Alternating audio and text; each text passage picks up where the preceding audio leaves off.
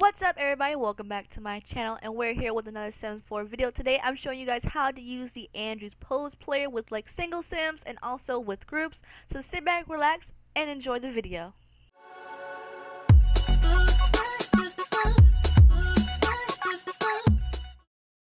Alright guys, so once you have Andrews Pose Player installed in your game, there is a link to the mod in the description below. You're going to go into build buy mode and then you'll type in teleporter or tele, you, it, it, doesn't matter, it'll start showing up. And you're going to look for the sim teleport destination. It's like a little knight, zero simoleons, and then you're going to place them wherever you want.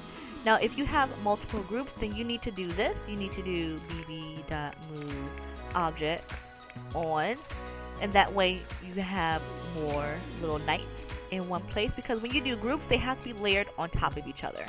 Alright? So because we only have two sims we're going to do a pose for two sims. I only need two teleporters.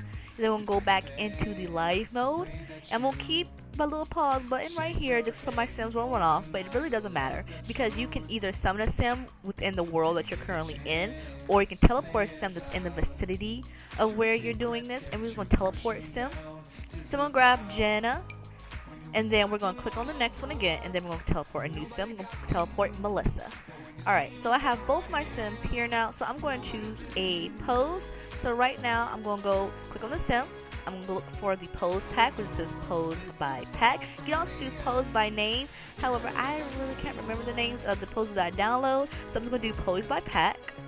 And then how do I know that I'm on the current sim that I want to pose? Some poses have a male version, toddler version, child version of that pose and you can just see with the little icon of the sim that you currently have selected right there. That is a big help especially when you're layering sim upon sim upon sim upon sim. And like all their meshes and all their pixels are just yeah so yeah that helps. So you're gonna look so you're gonna look for a pose that has what you want to do. I'm gonna use the F selfie that I have and then I'm going to choose just a regular one. So I'm gonna give Jenna 1A alright so I'm gonna get out of this one. And then I'm gonna go ahead and choose Melissa. Same thing just go ahead and go to pose by pack. And then I'm to look for the same pose pack which is elf selfie. But instead of giving her 1A I'm to go ahead and give her a 1B I'm going to go ahead and click out and then I'm going to press play and there you go so there you have your Sims all posed out for you and they, they, okay, yeah, they look kind of good.